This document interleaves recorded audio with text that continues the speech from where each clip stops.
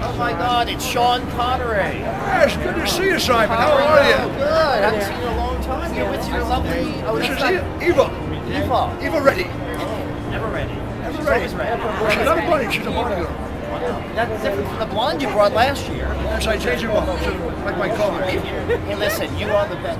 What do you folks think? He's the best, better than Roger Moore, don't you think? Yeah. Oh, Let's hear it. Yeah. All right, Sean Connery. Roger's, Roger's a dear friend. He's a year older than I am. And His golf game is not as good as mine. Oh, I know, you play golf. Well, we play other games, other games. Oh, we don't want to hear those things. Well, good luck to you. Listen, thank you all for being here. You know, 40 years ago, I drove the red Mustang right down Fremont Street. Cops out here someplace. All right, thank you so Well, much. good luck inside. Get a little scotch and we'll talk to you later. See you too. Notice how she ignored me? I was with her two years ago in Orlando. She completely ignored me. I have no idea what's going on. But anyway, it's fun. Very fun.